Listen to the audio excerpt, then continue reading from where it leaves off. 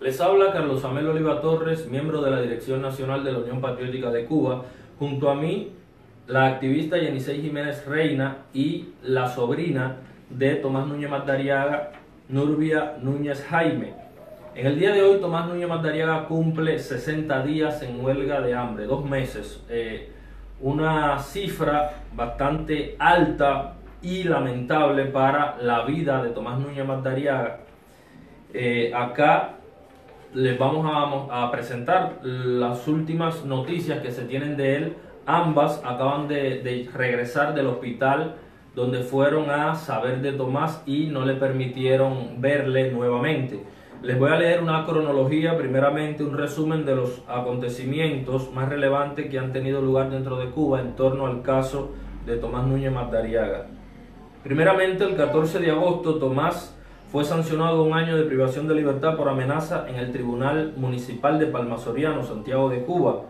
Desde el tribunal fue trasladado hacia los calabozos de la unidad policial conocida como la Territorial y allí inició la huelga de hambre.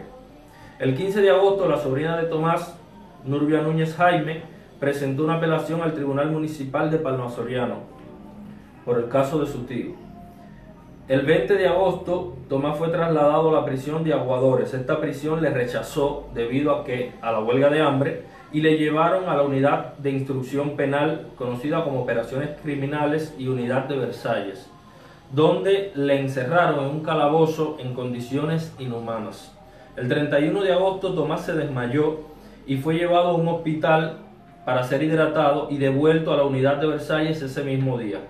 El 10 de septiembre, Tomás le comunicó a su sobrina en una corta visita que las autoridades le dijeron que su apelación había sido rechazada.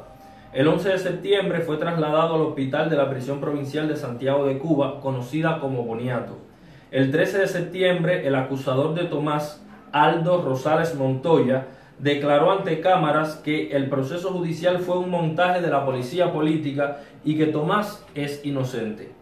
El 14 de septiembre, Aldo Rosales Montoya se personó en el Tribunal Municipal de Palmasoriano y contó la verdad del caso, pero cuando quiso retirar la acusación, el tribunal no se lo permitió. En días posteriores, envió eh, un mensaje a través de, cartas y de otros activistas que lo, lo, presentaron en su nombre a el Tribunal Supremo y a la Fiscalía General de la República contando la realidad de lo sucedido y pidiendo que eh, se revocara la sanción a Tomás.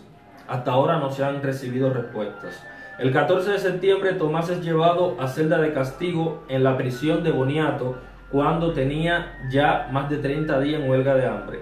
El 26 de septiembre fue trasladado al Hospital Clínico Quirúrgico de Santiago de Cuba Juan Bruno Sayas, donde se encuentra hasta hoy. El 7 de septiembre, el obispo de Santiago de Cuba, Monseñor Dionisio García Cibañez, declara que pudo ver a Tomás en el hospital y que las autoridades le comunicaron que en uno o dos días debían liberarlo debido a que el caso legalmente no se sostenía. El 9 de octubre, Tomás le comunica a su hermano Oscar Núñez Magdariaga en una corta visita que seguiría en huelga hasta que le den la libertad y que desde el día anterior había adoptado la postura de no permitir ningún tipo de asistencia médica. El 12 de octubre, ayer, un médico le comunicó a la sobrina de Tomás que su situación era delicada, que tenía la visión borrosa, calambres en el cuerpo y una complicación en el estómago, y que esto eran síntomas de que los órganos le comenzaron a fallar y que en cualquier momento podía ocurrir una fatalidad. Pues en el día de hoy, ¿qué aconteció cuando ustedes fueron hasta el hospital? Bueno, en el día de hoy lo seguido fue, hablamos con la doctora y nos dijo prácticamente lo mismo de ayer, ¿ves? Eh, que él ya está presentando visión borrosa, eh, que ya sus, sus, órganos en las piernas, también dice que los calambres de las piernas, dice que eso, le va a repercutir mucho a mi tío Tomás. Dice que sus órganos por dentro también ya están comenzando a fallarle. Hoy, eh, nuevamente, lo dije al principio, pero es bueno resaltar este punto nuevamente, le impidieron a ustedes ver a Tomás. Claro que sí, nosotros no podemos verlo. ¿Qué autoridad allí se, se les presentó para eh, dar eh, información de Tomás? La doctora. La doctora. La, única que nos, nos vio fue la doctora. Nosotros llegamos y entramos y cuando vamos llegando eh, nos atendió la jefa de la sala, llamada ella Mirulgia, y nos dijo que esperáramos, que nos iba a llamar a la doctora que es la que está atendiendo el caso de Tomás Núñez y estuvimos sentados desde como las ocho y media de la mañana y ella subió a atendernos casi a las 11 de la mañana. Fue que, que nos dijo que él continuaba en la misma situación, que él se negaba a todo tipo de atención médica, que se negaba a que le pusieran los sueros o que le suministraran cualquier otro medicamento. Él no quiere saber de nada, dice que, que él dice que si no le dan la libertad, él se muere ahí, que lo dejen morirse tranquilo, él mismo en la cama donde está. ¿La doctora les dio alguna justificación para que no le pudieran ver? Bueno, la doctora lo que nos dijo es que a ella le toca, a ella le pertenece la parte médica, que la parte de los oficiales es para los oficiales, que ella sí no tiene que ver nada con eso, que son los oficiales de la seguridad del Estado, ellos son los que deciden quién lo puede ver o quién no lo puede ver y nosotros nunca lo podemos ver. Bueno, sí, durante todo este proceso eh, a Tomás le han dejado ver solo en algunas ocasiones por la familia, pero en general le mantienen incomunicado la mayor parte del tiempo. Jenisei Jiménez Reina, ayer fuiste detenida en la mañana cuando preparabas a tus eh, hijas para ir a la escuela. ¿Qué pasó?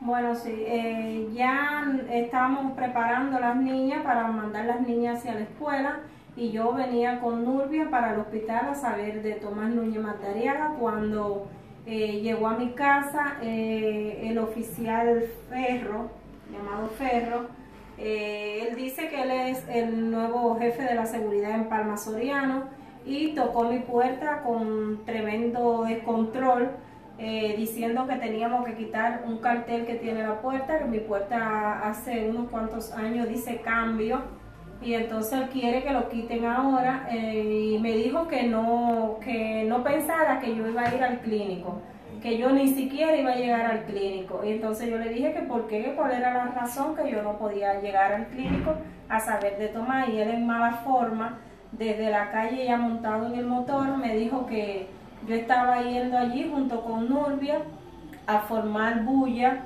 y a formar alboroto en el hospital. Yo le dije que en ningún momento nosotros hemos formado nada en el hospital. Y que la, la bulla que se formó en el hospital fue un teniente coronel que fue el, el, martes de esta semana, este teniente coronel llegó como con cuatro o cinco oficiales más, donde nos maltrató, nos sacaron de la sala y le dijo a los otros oficiales que si nosotros nos volvíamos a parar en la puerta, que nos sacaran como, como vaya, como diera lugar. O sea, si había que darnos golpes o maltratarnos, no importaba que lo hiciera, ¿entiendes? Y que no nos podían dejar ver a Tomás. Entonces ese día sí estuvimos un rato ahí y por el Ese ustedes se quedaron en el hospital. Sí, nos quedamos ahí. Después permitieron al hermano, a Oscar, ver a Tomás. Sí. Pero esto eh, evidencia claramente de que lo permitieron por la determinación de ustedes de, quedarse en el hospital. No porque el régimen, en acto de, de, de bondad, en medio de toda la crueldad que tiene contra Tomás, eh, le nació dejarlo ver por su hermano, si no fue producto a la firmeza de ustedes. Me dices que ayer el obispo te llamó por teléfono, nuevamente. ¿Qué te dijo? Él me llamó interesado por la salud de mi tío, yo le conté lo sucedido en, lo sucedido en el hospital. Entonces me preguntó que si nadie me había, nadie me había dicho nada sobre la sentencia de Tomabé, sobre la... Sí, el, tema legal del caso. Sí, no, yo dije que sobre sus su problemas de su juicio, nadie me había, me había comunicado nada, nadie. A mí nadie me ha dicho nada de mi tío, a mí nadie me ha dicho si, si lo van a poner en libertad, si a mí nadie me ha dicho nada, a mí nadie, nadie me ha dicho nada. En el caso tuyo, hoy eh, tú llamaste al obispo Dionisio, ¿qué te dijo? Bueno, él hoy me dijo que, que iba a continuar hoy haciendo otras gestiones para la situación de Tomás. Yo le dije que la situación de Tomás ahora, eh, o sea, nos preocupaba antes, pero ahora nos preocupa más todavía ya que hoy tiene 60 días, él tiene una edad bien avanzada, está presentando problemas en, en, en los órganos. Eh, está teniendo ya la visión borrosa, mucho calambre en el cuerpo y nosotros tememos por la vida de él porque realmente el médico ayer explicó que cualquier momento podían dar una, una noticia. Sí, de cualquier fatalidad. Sí, sí, sí, de cualquier fatalidad y, y, entonces nosotros estamos muy preocupados y él él se interesó y dice que nos, pues me dijo que iba a estar hoy muy pendiente esa situación. Entonces, realmente no, no hemos podido saber más porque ayer tampoco yo pude ver al médico porque ya te digo, me detuvieron en la casa y me llevaron hacia la unidad. Y aquello fue hasta las 11 de la mañana en cuestiones de, de vaya casi amenazándome de llevarme al calabozo y ponerme una multa de dos mil pesos por la manifestación que hicimos el pasado mes, día 26, frente a la casa de Tomás ellos están, libertad. están impidiendo toda, todo gesto de apoyo, de solidaridad hacia Tomás Núñez Mandariaga, pero lo que está pasando es lo contrario, cada vez son más los gestos de apoyo y de solidaridad en favor de la libertad de Tomás. Eh, le damos gracias al obispo de Santiago de Cuba, Monseñor Dionisio García Ibáñez, eh, le damos gracias a la comunidad internacional, gracias al secretario general de la OEA, gracias al gobierno de Estados Unidos y eh, aprovechamos para invitar a sus similares de Europa y de otros países del mundo que tienen sistemas democráticos a que se pronuncien en contra de las violaciones que el régimen castrista comete contra los opositores pacíficos. Me decías también de que allí te pudiste enterar de que eh, le están cocinando allí en la sala y eh, le llevan todos los días eh, alimentos de todo tipo para que él coma, lo cual sin duda para una persona como él es una especie de tortura psicológica lo que le están haciendo. esta es una pantrista que estaba ahí y ella estuvo conversando con otra compañera de trabajo, entonces yo le escuché porque estábamos sentados en el comedor y yo le pregunté que, si ahí cocinaban, entonces ella me dijo, sin saber que nosotros éramos familia de Tomás, eh, nos dijo que, que, sí, que ella estaba cocinando, que ella cocinaba todos los días para un señor que estaba en huelga de hambre, para ver si él se embullaba a comer y todos los días ella le ponía el plato de comida allí, al lado de, cerca de, de donde está su cama, en una mesita que tiene, donde le ponen el plato de comida, un vaso de leche y un vaso de jugo todos los días. Entonces dice ella que esta señora se llama Tomasita. Dice que, que ella se lo pone y ella le hablaba a él, pero que ya él no quiere ni siquiera hablar con ella y cuando él ve estas comidas y estas cosas que ella pone, él lo que hace es que vira la cara. En tu caso, eh, Nurbia, me contabas que tu tío Oscar, hermano de Tomás, en el día de hoy eh, fue hasta la Fiscalía General de la República en La Habana, la sede. ¿Y qué pasó allí? No, no, le comenta, ayer le comentaron que como es sábado no es día laborable, que habría que esperar el lunes. De todas formas, el lunes, en cuanto él llegue a la Fiscalía, que le den algún tipo de, de, de, argumento o cualquier cosa, yo enseguida lo comunico. ¿Me decías algo? Sí, que, que te, yo decía a Jenny que se acordara que ayer tuvimos un día muy, muy, muy preocupante nosotros en la casa, porque casi medio palma fue, fue ayer a la casa, mujeres llorando, mujeres llorando, eh, porque se había regado que se había muerto mi tío Tomás de la noche anterior. Inclusive me llamaron de La Habana anoche, de Arroyo Naranjo, mi, mi sobrino me llamó porque dice que ya, en La Habana está regado, que Tomás se ha muerto desde antenoche. Esto eh, generalmente, cuando sucede así, lo digo por experiencias anteriores, ha sido el mismo régimen el que, es decir, la policía política, el que deja correr estos falsos comentarios para ver qué impacto tendría si dejan morir a Tomás. Ellos están jugando a un, eh, es decir, mirando eh, cómo, eh, qué hacen finalmente si lo liberan, si no lo liberan, si se muere, qué pasa, si lo liberan, qué pasa. Y entonces, eh, generalmente esto es lo que pasa con estas situaciones. En la huelga de, hambre de Guillermo Fariñas también pasó así, en la que protagonicé yo y en la que han protagonizado otros hermanos de lucha. Pues estas son las últimas noticias que tenemos de Tomás Núñez Mandariaga hoy. 13 de octubre de 2018 a sus 60 días en huelga de hambre.